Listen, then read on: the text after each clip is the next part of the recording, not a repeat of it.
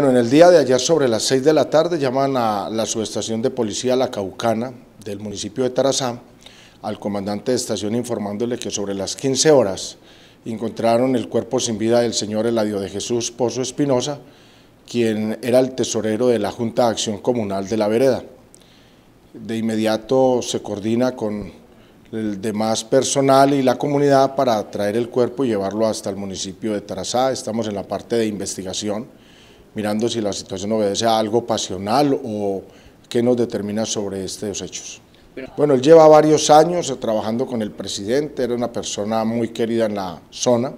Estamos en esa parte de investigación, invitamos a la comunidad que por favor nos llamen al teléfono 350-489-5094 para que nos den información sobre estos hechos.